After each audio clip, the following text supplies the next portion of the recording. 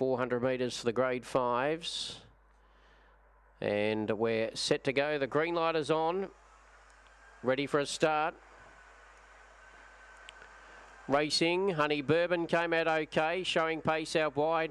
On the track, Armstrong Bobby, and going up was Talk, Talk, Talk. But the leader, Honey Bourbon, held them out. Got away by two lengths to Armstrong Bobby. Going up there, Kingy Lights, and then came Lamotta. Talk, Talk, Talks, drifting back with Sweet About Lily around the corner. It's Honey Bourbon just in front, the outside. Armstrong Bobby looming up, has hit the front. Armstrong Bobby about a long neck to Honey Bourbon, third on the inside, Lamotta. Then for the back game, Sweet About Lily. Then Talk, Talk, Talk. Well back, Kingy Lights, prime time. And the time of the last, 22.98. Well, it was good.